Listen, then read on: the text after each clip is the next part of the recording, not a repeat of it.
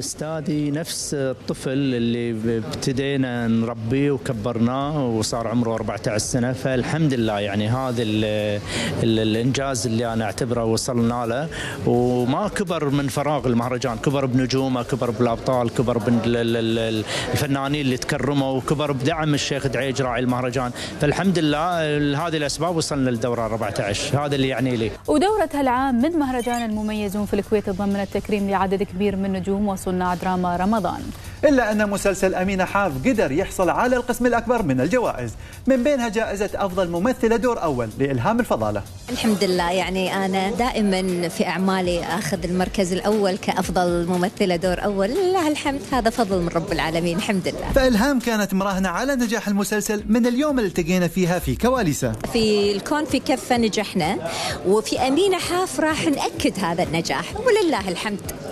كلمتي يتم مسمار بلوح أما شهاب جوهر اللي كان واثق من تميز العمل من البداية فبهالليلة نال جائزة أفضل ممثل دور أول. كان نص جدا جميل ودور مختلف وأول مرة أدخل أنا في level ال light comedy فكان جدا صعب بالبداية وكان في خوف كبير أني أقوم بهذا الدور. ولكن تشجيع مثلا الأستاذ باسم عبد الأمير أم فجر المجموعة اللي كانت وياي قمت بالدور والحمد لله رب العالمين قدرت أقدم شيء حلو ومتنفس للجمهور وأهم شيء إن الجمهور كان سعيد بهالدور. والجمهور يبدو أن أسعد دور رقية اللي قدمته شهد سلمان فهي حصلت على جائزة أفضل فنانة كوميدية. ما أدري أنا أحب كذي الوناسة والضحك يا جماعة والله العظيم يعني أنا أستانس على الفرفشة أستانس على هذا وما أعرف يعني إني أضيق خلقي وبعدين ضيقة الخلق مو زينة يعني. وفيما إيمان العلي نالت جائزة تشجيعية عن مشاركتها في المسلسل في الشرقاوي حصلت على لقب أفضل فنانة خليجية. التقدير هذا يعطيك حافز آه إنك تشتغل أحسن يعطيك قلق ويعطيك محبة وشغف أكثر حق الشيء اللي أنت قاعد تقدمه لما تقدم عمل وتبذل فيه جهد وطاقة وحب وتلقى المردود أكيد أكيد تحس بسعادة.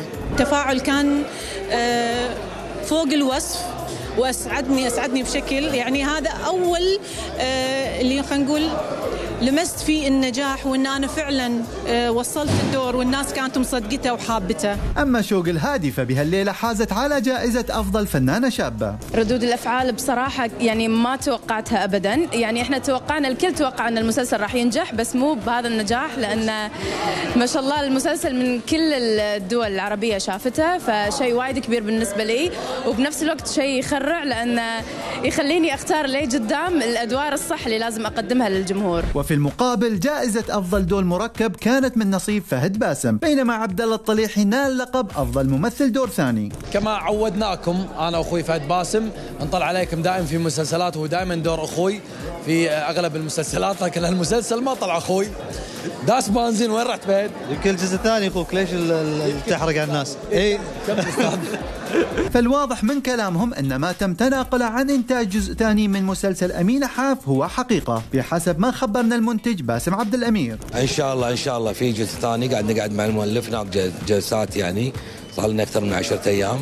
إحنا نبي المدخل للجزء الثاني إن شاء الله بس الفكرة موجودة بإذن الله. وباسم بهاليوم حصل على جائزة أفضل منتج وسعادته كانت كبيرة بالجوائز اللي حصل عليها المسلسل خلال الحفل. والله أكيد واحد يستأنس ينبسط لما الناس تكون راضية عليه وإن العمل اللي يعمل أصداء طيبة وجميلة وإنه ينافس مع عدة أعمال. هذا شيء جيد ومميز يعني.